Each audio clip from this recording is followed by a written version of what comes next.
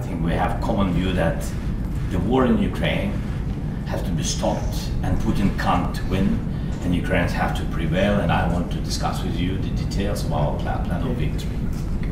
We understand that till November we can't stop Putin. We have to do it. We will try on the battlefield with our heroic soldiers, but we understand that after November we have to decide and we hope that the strength of United States will be very strong and we count on it.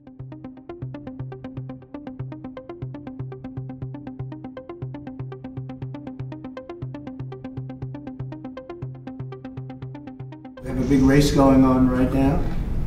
I guess 37 days left, and we're leading in the polls, and so we'll see how it all works out. Hopefully, it'll work out. But if it does, we're going to work very much with both parties to try and get this settled and get it worked out. Uh, it has to end at some point. It has to end. He's gone through hell, and this country has gone through hell like few countries have ever uh, like it's happened anywhere. Nobody's ever seen anything like it. It's a terrible situation. We have a very good relationship, and I also have a very good relationship, as you know, with President Putin. And I think uh, if we win, I think we're going to get it resolved very quickly. Very work. I really think we're going to get it I resolved. hope we have more good relations. We're going to have. Oh, I see. Yeah. Yeah, you but, but you know, it takes two to tango. You know, and we will. Uh, we're going to have a good meeting today.